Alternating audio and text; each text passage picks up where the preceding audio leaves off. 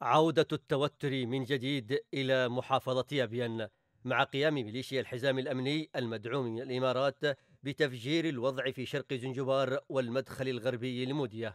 حيث أكدت مصادر محلية بأن مسلحين تابعين للحزام الأمني قطعوا الطريق الدولي في منطقة حسان بمدينة زنجبار بحجة عدم صرف رواتبهم وهو ما أوقف حركة التنقل بين المحافظات وعرقل مرور المواطنين. وقد طالب المسافرون العالقون في الخط الدولي السلطة المحلية والقيادة الأمنية بالتدخل العاجل.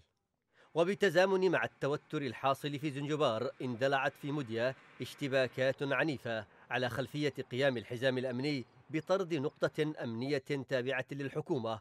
ووفق المصادر فإن المواجهات امتدت إلى وسط مدينة مديا وتسببت بسقوط قتلى وجرحى.